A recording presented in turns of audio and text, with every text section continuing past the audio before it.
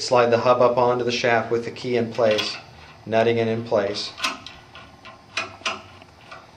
When nutting it down, I'd use a big 12 inch crescent wrench to, to nut it in place.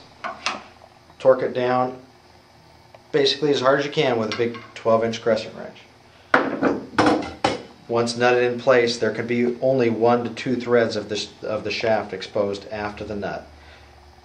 On a US built boat, there will be some threads exposed. Those need to be cut off with a hacksaw.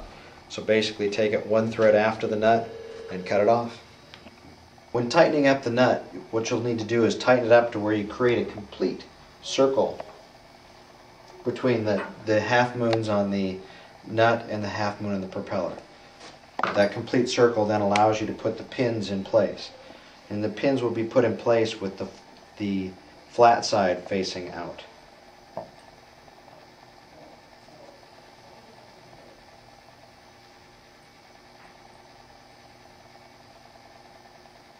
When the pins are in place, the flat section of the pin is facing out and the, the full barrel is below the shelf. That allows the cone gear to seat fully.